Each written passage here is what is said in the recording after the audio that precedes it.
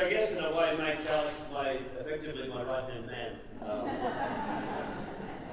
I know, I'm a terrible, terrible jokester. Um, the next piece that we're going to play, we actually thought we might, uh, it's, it's very interesting. This is a sonata by Georg Philipp Telemann. Not many people remember Telemann because unfortunately uh, he happened to live at a very inconvenient moment in history in terms of being a composer because he composed around the same time as Johann Sebastian Bach.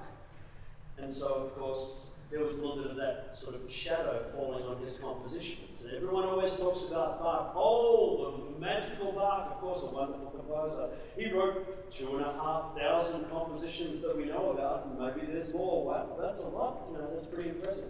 Telemann wrote more than 3,000 compositions that we know about, and that exists uh, in the repertoire today. I think it's something around three, it's not quite three and a half thousand, but it is a lot of compositional output.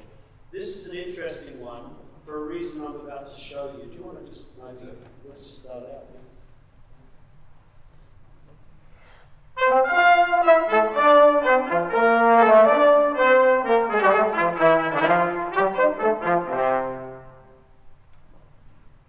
Very interesting, right? We're just playing the same thing, playing exactly the same notes. If we do that the whole time, I don't think they're going to be very interesting.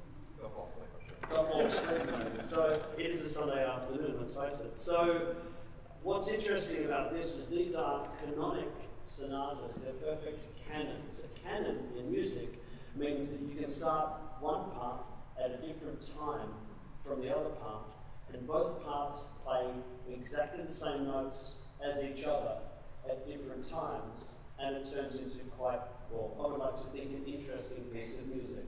We're going to do the same thing, except I'm going to start after he starts, and we'll see if it makes it more interesting.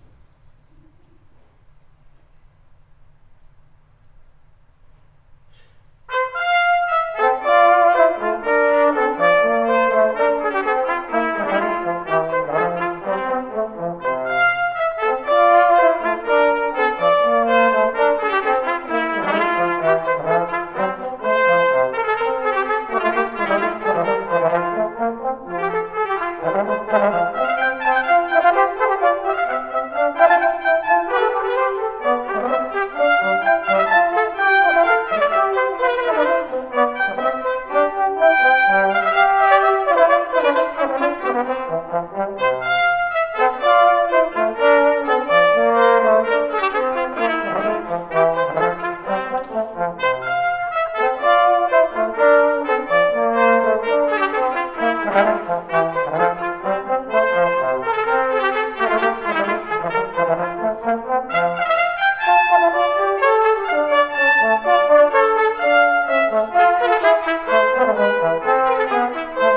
Uh,